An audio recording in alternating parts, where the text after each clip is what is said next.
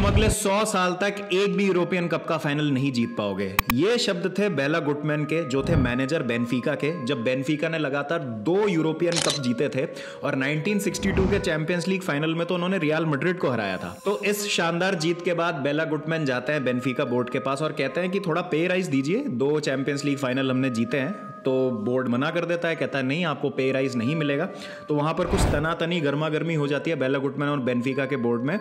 और वो रिजाइन कर देते हैं वहाँ पर और वो बोलते हैं कि, मैं तुमको श्राप देता हूँ, अगले सौ साल तक तुम एक भी यूरोपियन कप का फाइनल नहीं जीत पाओगे। और आप इसको कर्ज कहिए या को मान लीजिए बेला गुटमैन की ये बात एकदम सच हो गई है। और उसके बाद बेनफिका ने आज तक आठ यूरोपियन फाइनल खेले हैं, जिसमें से पाँच चैंपियंस लीग के फाइनल से हम तीन यूरोपा लीग के फाइनल है। और आठों के आठ फाइनल वो हारे हैं। लेकिन अभी रिसेंटली बेनफिका ने यूएफए यूथ लीग जीत ली है 2021-22 सीज़न की तो ऐसा माना जा रहा है कि कर्ज शायद लिफ्ट हो गया, खत्म हो गया